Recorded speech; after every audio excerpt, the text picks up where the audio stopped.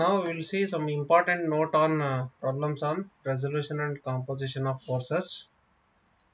So here we have solved one particular problem wherein uh, a system of forces is given and it, it was asked to find the magnitude and direction of the resultant force and we have determined it. We got uh, magnitude of the resultant force as 246.9 Newton and its inclination as 80 Newton, 80 degree. Okay. Now I will take magnitude and direction of the resultant force alone. So magnitude of the force is how much? R is equal to 246.9 Newton and its inclination is how much? 80 degree, 80 degree. Okay, let us assume sigma fx as horizontal component of this resultant force and sigma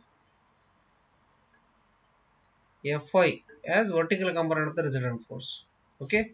Therefore, sigma Fx is equal to horizontal component of the resultant force that is r cos theta. Okay. Means 246.9 cos 80 degree. 246.9 cos 80 degree. So, if you solve the answer, whatever the sigma Fx value we have here, you will get the same value 40, 43.46 Newton only. 43.46 Newton. Similarly, if you find sigma Fy by taking vertical component of the resultant force that is 246.9 sin 80 degree. 246.9 sin 80 so you will get the same value of sigma Fy that is 243.04 Newton 243.04 Newton therefore see here we have determined sigma fx and sigma fy by using system of forces, all the forces, all the system of forces. Okay. Here we have determined the same sigma fx and sigma fy using resultant force and its inclination.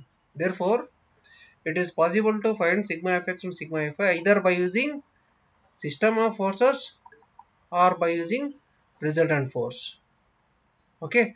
Therefore the first note that we can add here is first one if magnitude of the resultant force is given in the problem magnitude and direction of the resultant force is given in the problem then sigma fx is equal to r cos theta and sigma fy is equal to r sin theta.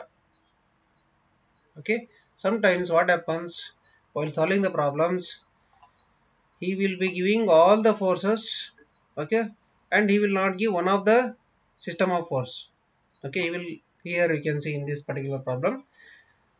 All the system of forces given except one particular force. Force p is not given but the resultant force is given. In that case what we can do is we can find sigma fx and sigma fy using this that resultant force and we can find for P. Okay. So in that case this note uh, will help you. Okay. Therefore if if R makes an angle theta with x axis x axis then sigma fx is equal to r cos theta sigma fy is equal to r sin theta. This much you remember. Okay? So there is one more case one more kind of problems wherein he says that resultant lies in the x-axis okay? Resultant will be given along the x-axis given along the x-axis in this case in this case. What is the angle of resultant force with respect to x-axis? Angle is 0 degree. Horizontal angle of resultant force with respect to x-axis means horizontal angle is 0 angle with respect to x-axis is 0 therefore if you find sigma fx means this is second case if resultant lies in x-axis x-axis then sigma fx is equal to r cos theta where theta is 0 correct? r cos 0 cos 0 value is 1 therefore sigma fx is equal to r okay? Sigma fx is equal to r this is the first condition.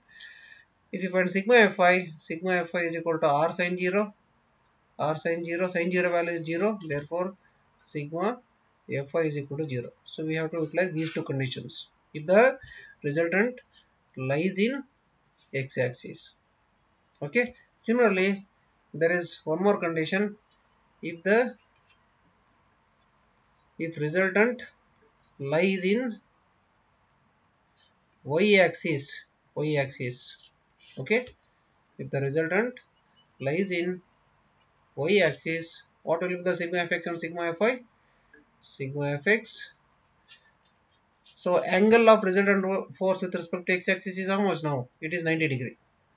Horizontal angle of resultant force is 90 degree therefore sigma fx is equal to r cos theta that is r cos 90 cos 90 value is 0 therefore 0 sorry cos 90 value is s 0 so sigma fx becomes equal to 0 sigma fx equal to 0 then if you find sigma fy it will be r sine theta that is r sine 90 which is equal to r therefore sigma fy is equal to r to solve the problems, you need to remember all these three conditions. Okay. What is the first condition? If the resultant makes an angle theta with the x-axis, then sigma fx equal to r cos theta, sigma fy is equal to r sin theta. If resultant lies in x-axis, sigma fx equal to r, sigma fy equal to 0. If the resultant lies in y-axis, then sigma fx equal to 0 and sigma fy equal to R. You need to remember all these three conditions to solve the problems on resolution and composition of forces. Okay, thank you.